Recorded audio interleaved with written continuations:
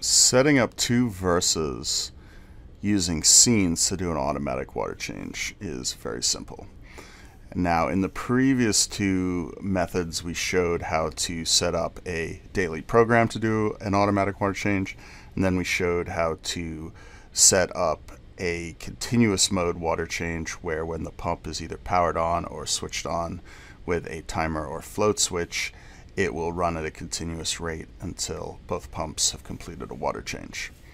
In this video, we're going to take a look at how to do the same thing with scenes. Scenes is a kind of a combination of the two because in this you create a button which you access through your Mobius home screen right here on the page where currently there's only feed mode and with that you can do a water change.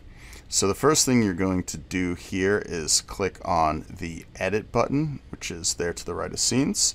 We're going to click on this plus button at the top right. And that will let us add a new scene. It's populated with a silly name. So the first thing we'll do is change that name. We're going to call it 500 ml water change.